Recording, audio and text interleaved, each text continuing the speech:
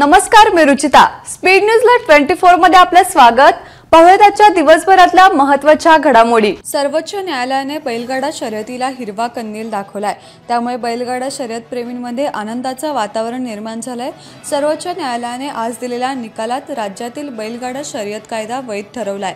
विधिमंडळ कायद्याने केलेल्या कायद्यात कोर्ट हस्तक्षेप करणार नाही असे न्यायालयाने म्हटलंय. हा कायदा प्राण्यांचा छळ करणारा नाही असे निरीक्षण कोर्टाने नोंदवलंय. त्यामुळे बैलगाडा शर्यतीचा मार्ग आता मोकळा झालाय. डिसेंबर दोन हजार एकवीसमध्ये सर्वोच्च न्यायालयाने महाराष्ट्रातील बैलगाडा शर्यतीवरची बंदी हटवली होती. या निर्णयाने ग्रामीण महाराष्ट्राला मोठा दिलासा मिळाला होता. मात्र त्यानंतर संबंधित कायद्याला आव्हान देणाऱ्या याचिका दाखल करण्यात आल्या होत्या. त्याबाबत सर्वोच्च न्यायालयात सुनावणी घेत सर्व बाजू न्यायालयाने ऐकून घेतल्या. दरम्यान महाराष्ट्रातील बैलगाडा शर्यतीसोबतच तमिळनाडूतील जल्लीकट्टू या प्रसिद्ध खेळाचा मार्ग देखील मोकळा झाला आहे सुप्रीम कोर्टाने बैलगाडा शर्यतीला परवानगी दिल्याने आमच्यासाठी एक उत्सवच असून आम्हाला खूप आनंद झाला असल्याची प्रतिक्रिया बैलगाडा संघटनेच्या पदाधिकाऱ्यांनी दिली आहे. मी महेश धारक संघटनेचा सदस्य आहे डायरेक्टर आहे. आज जे स न्यायालयाने जे निकाल दिला आहे बैलगाडीच्या शर्यतीवर ते अति चांगल्या प्रकारचा निकाल दिला असं आमचं मत आहे. आणि ह्या निकालात सर्व एवढे आनंदी झाल्यात की आज साखरपेढे वाटून सर्वजण काय आनंद व्यक्त करणार आहे. बाकीचे जे जे काय बैलगाडी शर्तीव जे ऑब्जेक्शन होतं त्या सर्वोच्च न्यायालयानं फेटाळून लावल्यामुळं त्याच्यापेक्षा सर्वजण चांगल्या आनंदात आहे. कोल्हापूर जिल्हा सहकारी दूध उत्पादक संघ अर्थात गोकुळ संघाचे अध्यक्ष विश्वास पाटील यांचा राजीनामा बुधवारी झालेल्या संचालक मंडळाच्या बैठकीत मंजूर करण्यात आला. नेत्यांना दिलेल्या शब्दानुसार विश्वास पाटील यांनी आपल्या पदाचा राजीनामा दिलेला आहे. आता पंचवीस मे रोजी नूतन अध्यक्षांची निवड केली जाणार आहे. पुणे विभागाचे विभागीय उपनिबंधक डॉक्टर महेश कदम हे निवडणूक निर्णय अधिकारी म्हणून काम पाहणार आहेत. दरम्यान गोकुळच्या नेत्यांनी ठरवलेल्या फॉर्म्युलानुसार आता अध्यक्षपदी गोकुळचे ज्येष्ठ संचालक अरुण डोंगळे यांच्या नावावर शिक्कामोर्तब करण्यात आलाय. शासकीय कर्मचाऱ्यांच्या बदली प्रक्रिया मे अखेर पूर्ण करण्याचे आदेश सर्व शासकीय कार्यालयांना दिले आहेत. त्यानुसार जिल्हा परिषद कर्मचाऱ्यांच्या बदली प्रक्रिया बुधवारी राबवण्यात आल्या. यामध्ये एकूण चौतीस कर्मचाऱ्यांच्या बदल्या करण्यात आल्या आहेत. पहिल्या टप्प्यात प्रशासकीय विनंती आणि आपसी बदल्या करण्यात आल्या. बुधवारी दिवसभरामध्ये सामान्य प्रशासन विभागाकडे प्रशासकीय तेरा विनंती पंधरा आणि आपसी चार अशा एकूण बत्तीस कर्मचाऱ्यांच्या बदल्या करण्यात आल्या आहेत. तर प्राथमिक शिक्षण विभागातील केंद्र प्रमुखांच्या प्रशासकीय दोन बदल्या करण्यात आल्या आहेत. मुख्य कार्यकारी अधिकारी संजय सिंह चव्हाण यांच्या मार्गदर्शनाखाली ही बदली प्रक्रिया राबवण्यात आली. कोल्हापुरातील ऐतिहासिक कोटीतीर्थ तलावाला पुनरुज्जीवन आणण्याबरोबरच सुशोभीकरणाचे काम सध्या सुरू आहे. महापालिकेच्या प्रशासक तथा आयुक्त डॉक्टर कादंबरी बलकडे यांनी बुधवारी या कामाची पाहणी केली. यावेळी त्यांनी एकतीस मे अखेर सर्व उर्वरित कामे पूर्ण करण्याच्या सूचना संबंधित अधिकाऱ्यांना दिल्या. यामध्ये चेनलिंग फेन्सिंग टीचिंग आणि आयलंड तयार करण्याच्या कामांचा समावेश आहे. या कामासाठी नऊ ऑक्टोबर दोन हजार बावीसला वर्क ऑर्डर दिली आहे यासाठी दोन कोटी एकावन्न लाख खर्च असून अठरा महिन्यांची मुदत दिली आहे. या भेटीवेळी बलकवडे यांच्यासह उपायुक्त रविकांत अडसूळ शहर अभियंता हर्षजित घाटगे जलाभियंता नेत्रदीप सरनोबत आणि ठेकेदार उपस्थित होते. निधीसह योजना आहे पण पात्र व्यक्तीस त्याचा पत्ताच नसतो. योजनेवर मग पाणीच फेरले जाते. हे टाळण्यासाठी राज्य शासनाने जत्रा शासकीय योजनांची सर्वसामान्यांच्या विकासाची हा उपक्रम सुरू केलाय. या योजनेचा लाभ घेण्यासाठी नागरिकांना कागदपत्रांसह हेलपाटे घालावे लागण्याची बाब नवी नाही. राज्य शासनाच्या विविध योजनांचा लाभ जनतेला व्हावा यासाठी शासन आपल्या दारी हे राज्यस्तरीय अभियान मुख्यमंत्री एकनाथ शिंदे आणि उपमुख्यमंत्री देवेंद्र फडणवीस यांच्या नेतृत्वाखाली सरकारकडून राबवण्यात येत आहे. या अभियानांतर्गत मुख्यमंत्री एकनाथ शिंदे आणि उपमुख्यमंत्री देवेंद्र फडणवीस यांची अठ्ठावीस मे रोजी कोल्हापूर शहरातील मध्यवर्ती महात्मा गांधी मैदानात सायंकाळी पाच वाजता भव्य सभा होणार असल्याची माहिती राज्य नियोजन मंडळाचे कार्यकारी अध्यक्ष राजेश क्षीरसागर यांनी दिली आहे. मुख्यमंत्री एकनाथ शिंदे यांच्या दौऱ्यासंदर्भात शिवालय शिवसेना जिल्हा मध्यवर्ती कार्यालय इथं प्रमुख पदाधिकाऱ्यांच्या प्राथमिक बैठकीत ते बोलत होते. शासनाच्या विविध योजना गोरगरीब सर्वसामान्य नागरिकांपर्यंत पोहोचाव्यात हे या अभियानाचे प्रमुख उद्दिष्ट आहे. या कामी जिल्ह्यात शिवदूतांची नेमणुकीचे काम अंतिम टप्प्यात असून शिवदूत आणि शासन यांच्या माध्यमातून तळागाळातील नागरिकांपर्यंत शासनाच्या योजना पोहोचवल्या जाणार आहेत. कोल्हापूर जिल्ह्यातून पंच्याहत्तर हजारपेक्षा जास्त नागरिकांना या अभियानातून लाभ देण्याचं उद्दिष्ट असल्याचं क्षीरसागर यांनी यावेळी सांगितलं. या बैठकीला शिवसेना जिल्हाप्रमुख सुजित भाऊ चव्हाण जिल्हाप्रमुख प्रमुख जमादार महानगर प्रमुख शिवाजी जाधव समन्वयक जयवंत हरुबले शहर प्रमुख रणजित जाधव महेंद्र गाडगे प्राध्यापक शिवाजीराव पाटील किशोर गाडगे तुकाराम साळोके वैद्यकीय मदत कक्षाचे जिल्हा प्रमुख प्रशांत साळोके संजय संकपाळ आदी उपस्थित होते.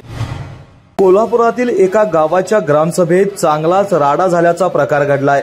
या सभेमध्ये दोन्ही गटांकडून अक्षरशः खुर्च्यांची फेकाफेकी करण्यात आली आहे.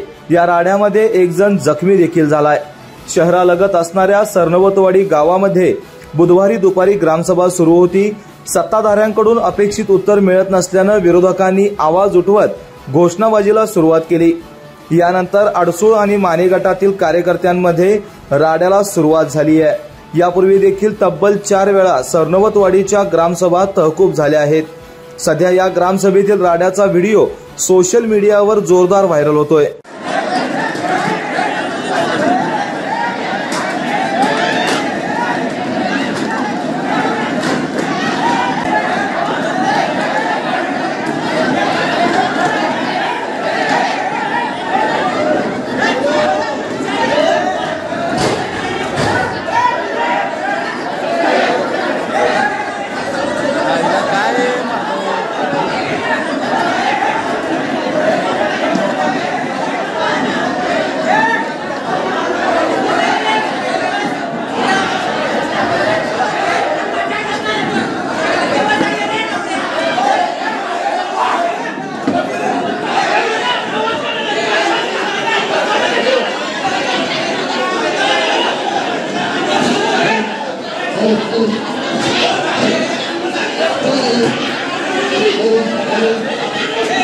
Women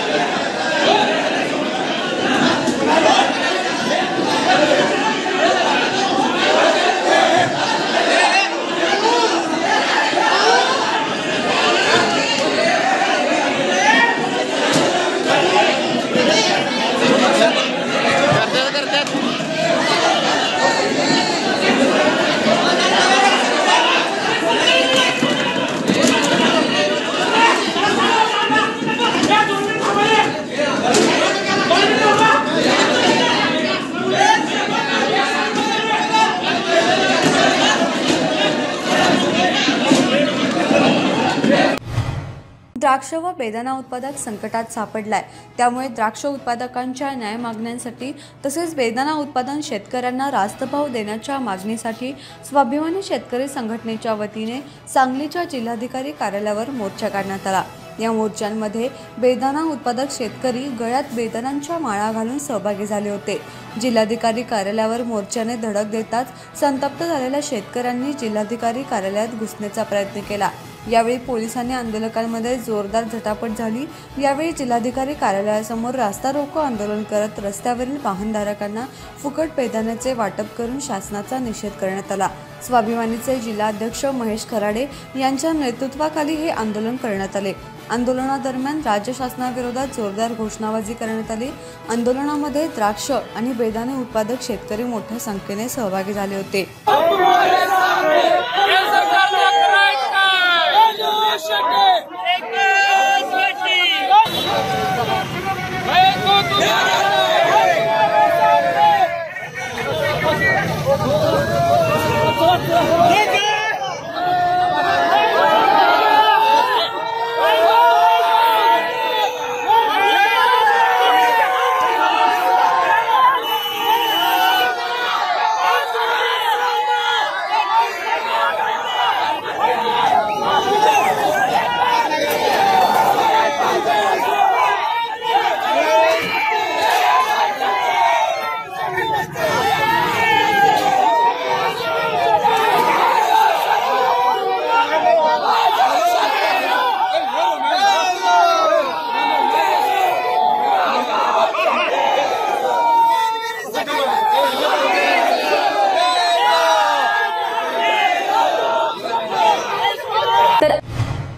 सांगली महापालिकेकडून मान्सूनपूर्व नालेसफाईला सुरुवात करण्यात आली आहे. एकूण पासष्ट हजार मीटर नाल्याची स्वच्छता या अंतर्गत केली असून मे अखेर महापालिका क्षेत्रातील सर्व नाले स्वच्छ करण्यात येणार आहेत. नालेसफाईच्या प्रत्येक कामाचे ड्रोनद्वारे चित्रीकरण केले जाणार आहे.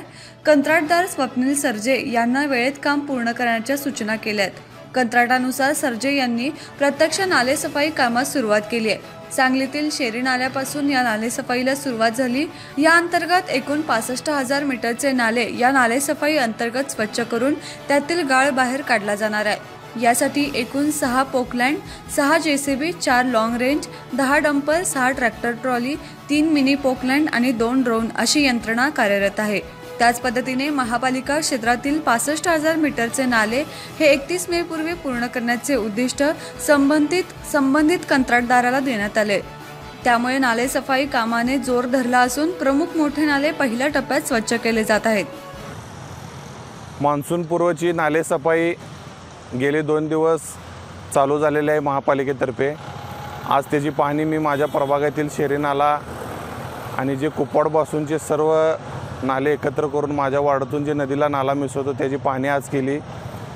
संबंधित कॉन्ट्रॅक्टरांना आज सूचना केलेल्या आहेत की अजून मशिनरी वाढवून चांगल्या प्रमाणात आणि फास्ट काम चालू करावं.